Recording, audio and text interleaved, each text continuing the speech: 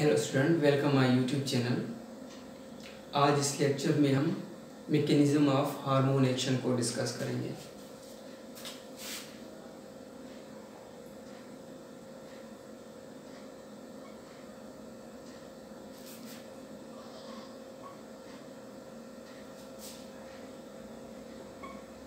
Hormone action हम पहले भी डिस्कस कर चुके हैं केमिकल नेचर ऑफ़ हार्मोन्स में। कि हार्मोन्स जो है वो दो तरह के होते हैं। एक हार्मोन लिपिड सॉल्युबल्स होते हैं और दूसरे हार्मोन जो है वाटर सॉल्युबल्स होते हैं। लिपिड सॉल्युबल हार्मोन्स में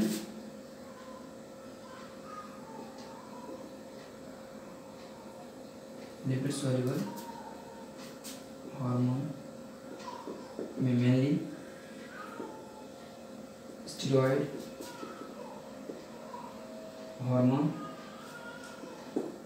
and thyroid hormone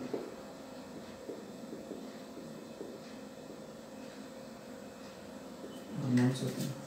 और दूसरे होते हैं। वाटर सोल्यूबल इसमें अमाइन एंड पेप्टाइड होते हैं तो लिपिड सॉल्युबल हार्मोन्स का जो मैकेनिज्म ऑफ़ एक्शन होता है, वो डिफरेंट होता है, और वाटर सॉल्युबल हार्मोन्स का जो मैकेनिज्म ऑफ़ एक्शन होता है, वो डिफरेंट होता है। पहले हम लिपिड सॉल्युबल हार्मोन्स को डिस्कस करेंगे स्टीरॉयड हार्मोन्स को। यानी लिपिड्स से जो बनते हैं हार्मोन्स उसे हम स्टीरॉयड हार्मोन्स कहते हैं। जैसे कि ये एक टारगेट आर्गन है, ये एक ग्लैंड है सॉरी ये एक ग्लैंड है। इसने जो है केमिकल प्रोडक्ट हार्मोन को रिलीज़ किया है।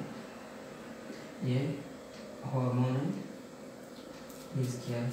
इसे ब्लड वेसल्स ने ट्रांसपोर्ट किया through transport proteins transport proteins होंगे, जिसे बाइंडिंग प्रोटीन कहते हैं। ये मेनली लिवर बनाता है। तो लिवर ये जो हार्मोन्स होंगे वो इस बाइंडिंग प्रोटीन्स की मदद से ब्लड में ट्रांसपोर्ट करेंगे। जब ये टारगेट आर्गन के पास पहुँचेंगे, ये टारगेट ऑर्गन है।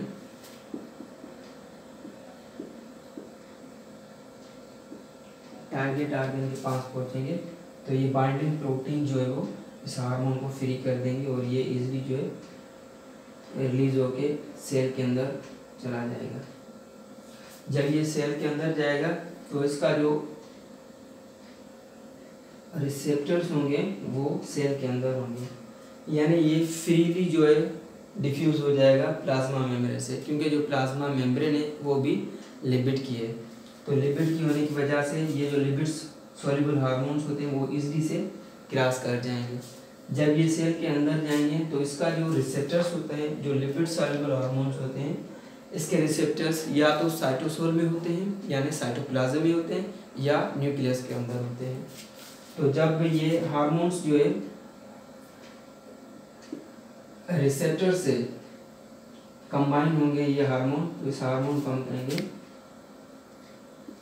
रिसेप्टर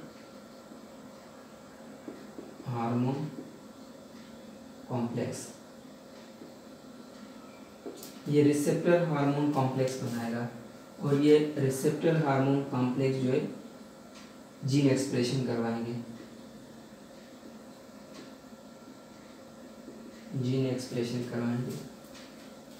और ये gene specific type of gene जो होगा कि किस तरह की जो है इंफॉर्मेशन ग्लैंड टारगेट आर्गन से लेके आया है हार्मोन। उस तरह के जीन को जो है ये ट्रांसक्राइब कराएँगे, उसकी जो है डुप्लीकेट कॉपी बनवाएँगे डीएनए में, जिस प्रोसेस को हम ट्रांसक्रिप्शन कहते हैं। तो डीएनए जो होगा, वो एक डुप्लीकेट जो है कॉपी बनाएगा आरएनए की।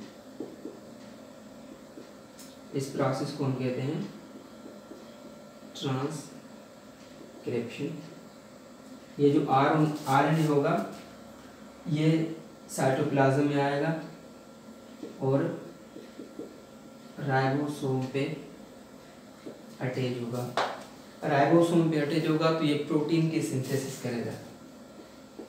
तो ये प्रोटीन की सिंथेसिस करेगा। और ये जो न्यूली सिंथेसाइज प्रोटीन है, वो सेल की एक्टिविटीज़ को फिजियोलॉजिकल फ़ंक्शंस को चेंज करेंगे। तो ये जो मैकेनिज्म ऑफ़ एक्शन है, वो लिपिड सॉल्युबल हार्मोन्स का है। तो लिपिड सॉल्युबल हार्मोन्स में जो रिसेप्टर्स होते हैं हार्मोन्स के लिए वो सेल के अंदर होते हैं। और जीन एक्सप्रे जीन एक्सप्रेशन के बाद प्रोटीन की सिंथेसिस होती है और ये प्रोटीन जो है सेल की एक्टिविटी को चेंज कर लेती है। और दूसरे जो हार्मोन्स होते हैं, वो water soluble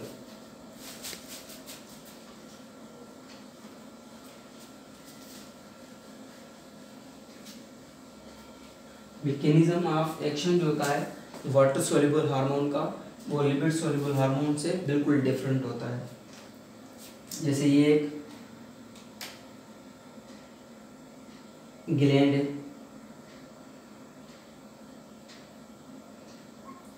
ग्लैंड्स ने हार्मोन को रिलीज़ किया। ये हार्मोन है। और हार्मोन जो है वो ब्लड्स में एंटर होंगे। तो ब्लड में होंगे जैसे ये हार्मोन्स तो ये ब्लड का जो प्लाज्मा वाला पोर्शन है, जो 90 परसेंट वाटर होता है, क्योंकि ये वाटर सॉल्युबल्स होते हैं तो उस वाटर में सॉल्युबल होकर ट्रांसपोर्ट होते हैं। तो ये प्लाज्मा के थ्रू ट्रांसपोर्ट होते हैं। जब ये टारगेट आर्गन के पास पहुँचते हैं तो ब्लड वेसल से डिफ्यूज होकर इंटरस्टेशल फ्लूड यानी एक्स्ट्रा सेलुलर फ्लूड्स में आते हैं। और देन सेल में जाते हैं। सेल में जाने से पहले ये जो टारगेट आर्गन है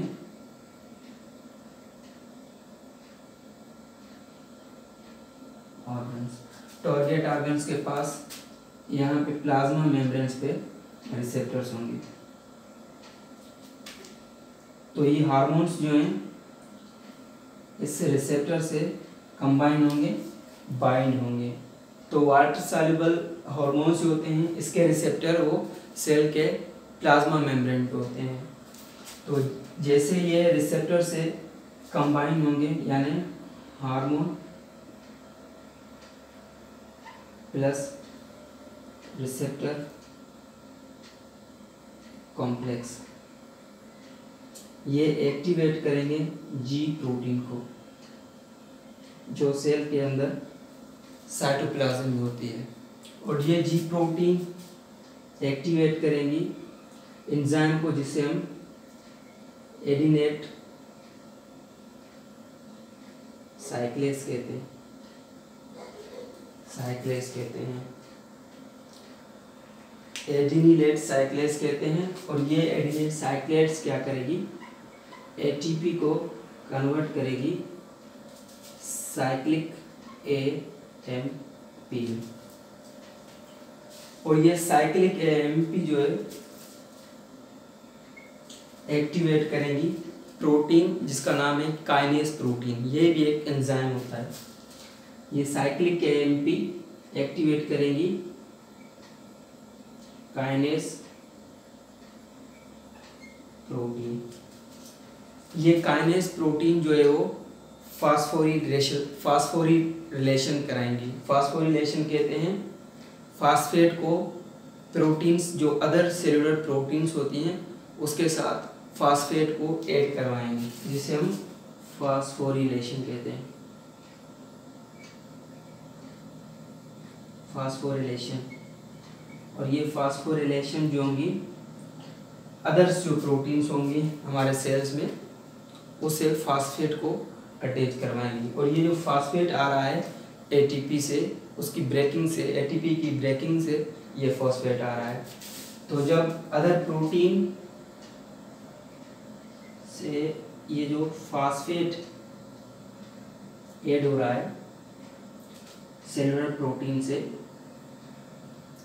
ये जो प्रोटीन्स फास्फेटेड प्रोटीन्स होगी, वो फिजियोलॉजिकल रिस्पांस जो होगा वो सेल का, उसे प्रोड्यूस करेंगी। और ये जो प्रोटीन फॉस्फेट होंगी, ये प्रोड्यूस करेंगी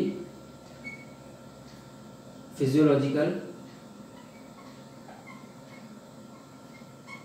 response physiological response produce करेंगे।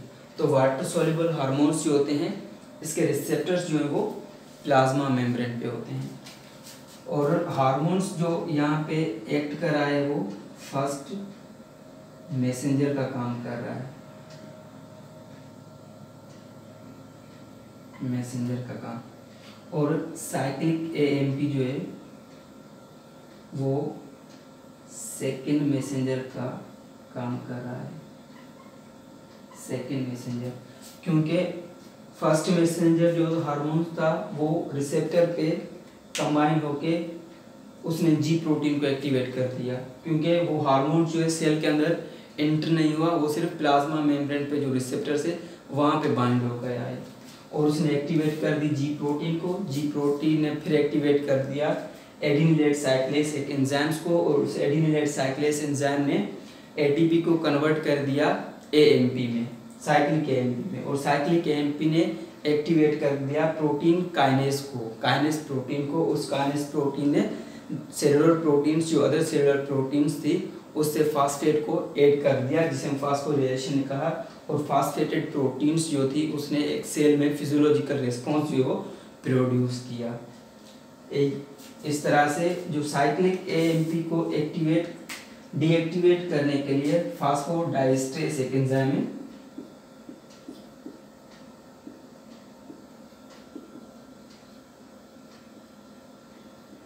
अब ये फास्फोडाइस्ट्रेस एंजाइम जो है वो इनएक्टिवेट करेगा साइक्लिक एएमपी को, ताकि जो उसका रिस्पांस जो है वो कंटिन्यूसली प्रोड्यूस ना हो, एक हद तक उसका रिस्पांस जो है वो स्टॉप हो जाए।